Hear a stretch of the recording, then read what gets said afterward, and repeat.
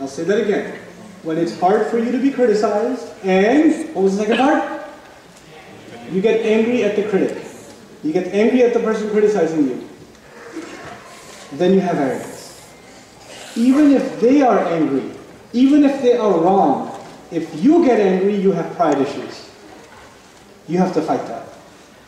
You have to fight that. They are still your brother. There are people who email me, they say things like, you are the Dajjal, you are calling people to kufr. Uh, you know, I hope I see you in the hellfire. I've got, you know, I get those emails. Sometimes I actually get people coming up to me, shaking my hand and saying, you are going to burn in hell.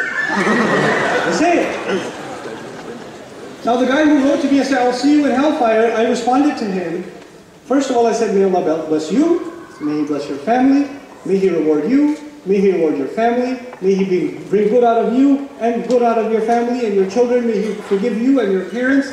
And second of all, please don't say, I will see you in hell, because I hope you're in Jannah. to see me, you have to be next to me. So,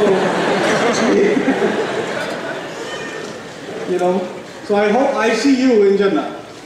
So, you know, you don't have to, oh yeah? Well, I'll see you there first. No, no, no.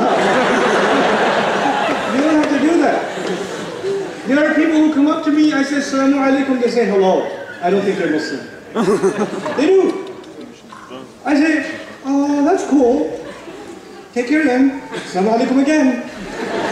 And they still respond. And it's fine. It doesn't bother me.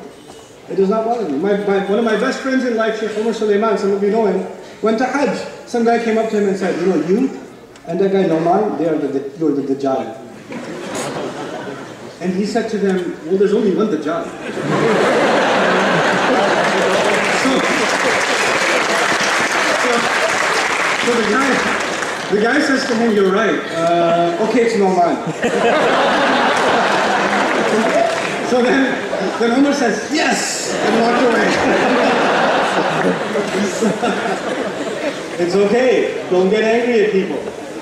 Let them say things. It's okay. It's okay. They're still family, and maybe they'll regret it later. There are, there are people who will regret things later, you know? So don't, don't get angry at people who get angry at you. Don't be averse to you know, criticism. That's a good, great tip against arrogance itself, right? The, the final tip I'll give you about arrogance is respect to your elders.